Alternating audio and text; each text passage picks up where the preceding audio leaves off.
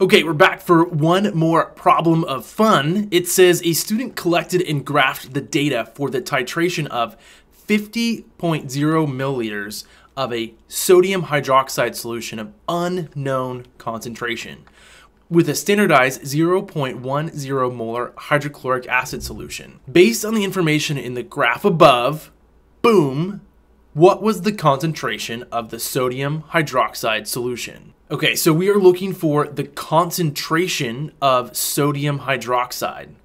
So as I think about concentration, I always come back to my concentration equation for molarity, which is moles per liter. I know that the original volume of sodium hydroxide used was 0.0500 liters. Again, I've just converted my 50 milliliters into liters, but I don't know how many moles were in that 50 milliliters of sodium hydroxide. As I think about the other information I'm given here, I'm once again going to use my molarity equation. Molarity equals moles per liter. This time, I know the concentration of my standardized acid solution, 0.10 molar, and I know what volume of HCl I needed to reach the equivalence point.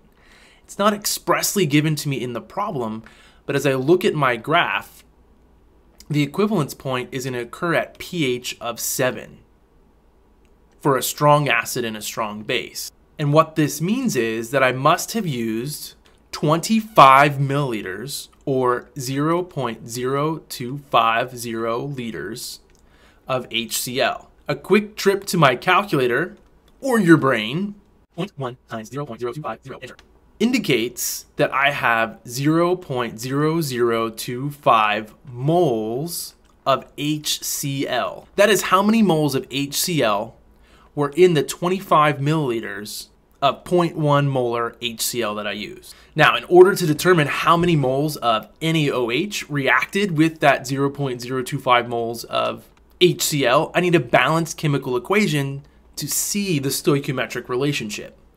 So HCl reacts with NaOH.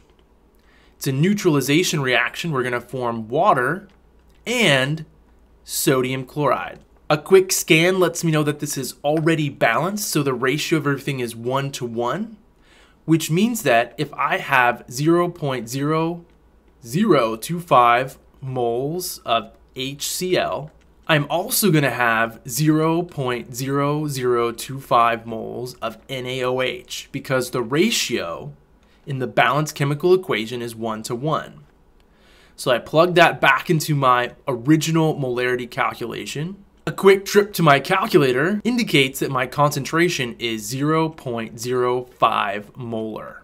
Again, take a moment to think about this. The balanced chemical equation indicates for every one mole of HCl, I need a mole of NaOH, or it's a one to one mole ratio. Notice I use half the volume of my HCl solution compared to my sodium hydroxide solution.